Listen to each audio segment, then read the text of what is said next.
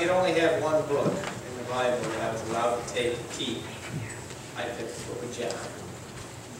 If I was only allowed to carry one chapter, it'd be chapter 14. I love this chapter.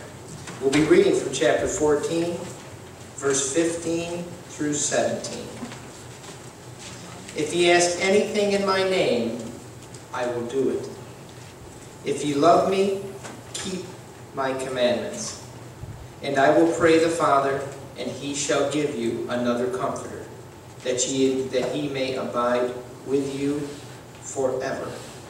Even the Spirit of truth, whom the world cannot receive, because it seeth him not, neither knoweth him, but you know him, for he dwelleth with you and shall be in you.